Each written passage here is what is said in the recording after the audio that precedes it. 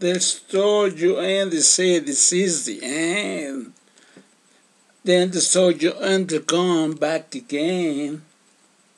When you're riding in your car, where you're playing your guitar, everybody must get stoned.